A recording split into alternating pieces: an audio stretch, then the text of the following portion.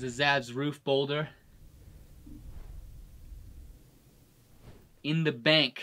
Starts here, climbs into the scoop, and then tops out outright over this like slab. It's almost overhanging at the top. You kind of got to reach around to bulge, but it's not. It's not so bad. You're really balanced up there. It's not quite the direct line, which goes completely overhanging. I mean, it's not you know, it's not a cave, but it is overhanging over the bulge. That's the project line, and we think we're gonna start that here, but we'll get to there in time, all in good time. In the bank, though, first, start standing up the scoop to the right on real flaky, real thin crimps. I mean, flaky makes it sound like it's chossy. They're not chossy, they're just real thin.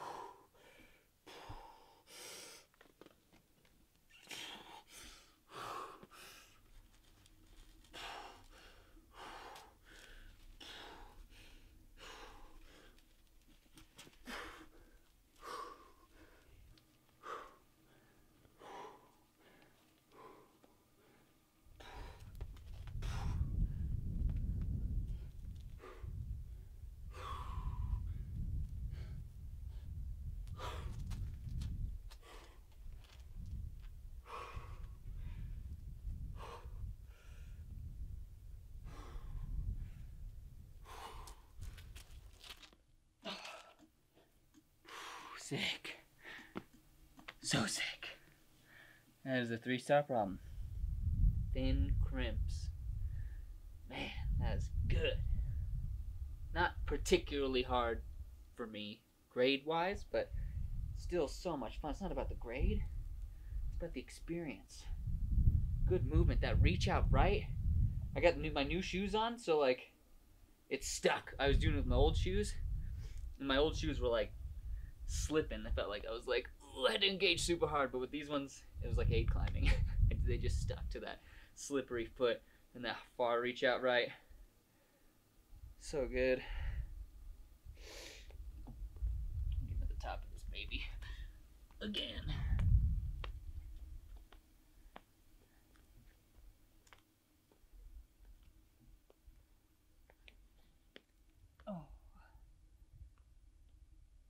Beautiful views. Beautiful views in every direction.